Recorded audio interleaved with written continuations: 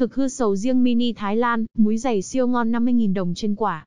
Mặc dù được quảng cáo là loại sầu ngon, lạ miệng nhưng sầu riêng Thái Lan vẫn gây nhiều tranh cãi vì hình dáng nhỏ bé và nguồn gốc thực sự của chúng được giao bán rầm rộ trên các chợ hoa quả online thời gian gần đây với giá từ 100.000 120.000 đồng trên kg, đắt hơn so với nhiều loại sầu riêng như G6 trên thị trường, đang ở mức từ 70.000 90.000 đồng trên kg.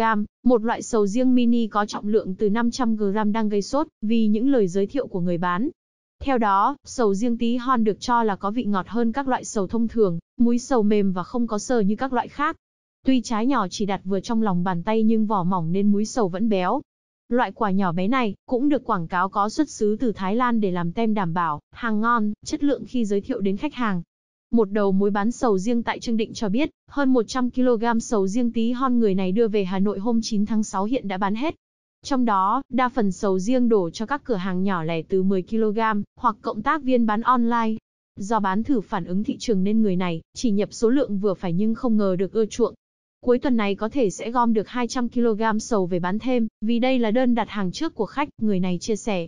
Vì hình dáng gây tò mò, thấy trên mạng giao bán nhiều sầu riêng tí hon, bạn bè đồng nghiệp cũng quảng cáo nhiều nên chị Minh Anh, chú tại Hoài Đức đặt mua 3 quả sầu riêng tí hon, từ một cửa hàng bán hoa quả uy tín trên phố Phạm Ngọc Thạch, Hà Nội. Cảm quan thì sầu cũng ngon nhưng không có gì đặc biệt về hương vị.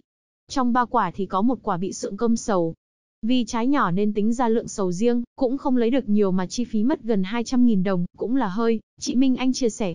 Cũng chia sẻ trải nghiệm thưởng thức loại sầu riêng lạ, chị Thu Anh thành viên của hội mê sầu riêng với gần 60.000 thành viên cho hay, sau khi chờ gần một tuần lễ, thì đơn hàng năm trái sầu riêng của chị mới được chuyển đến nhà. Hương vị cũng ổn nhưng thực chất hạt sầu riêng khá to chứ không phải loại hạt lép. Không hiểu vì sao mà loại quả này hát, vậy, cửa hàng chỗ mình mua đã báo cháy hàng rồi, Thu Anh chia sẻ. Trong khi nhiều khách hàng thích thú thử sầu riêng mini, thì cũng có không ít bình luận quan tâm đến xuất xứ của loại quả lạ lùng này. Mình sang Thái Lan khá nhiều nhưng cũng chưa thấy loại sầu riêng này. Không rõ có đúng hàng Thái không nữa, tài khoản Huỳnh Thư bày tỏ sự phân vân dưới bài đăng của Thu Anh. Không chỉ chia sẻ về sầu riêng mini, nhiều người cũng đăng tải hình ảnh trái sầu riêng siêu nhỏ được cho là ở Thái Lan với đồn đoán, có chăng đây là số ít những trái đột biến của giống sầu riêng nào đó hay không?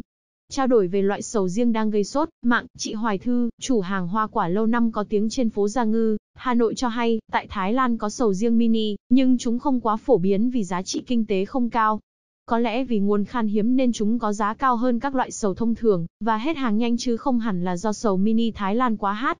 Ngoài ra, nhiều cửa hàng cũng ngại bán loại sầu này vì gom hàng mất thời gian lắm. Nếu là sầu riêng Thái Lan thì Musa Kinh hoặc Mon Thong là ngon hơn cả, Hoài Thư chia sẻ.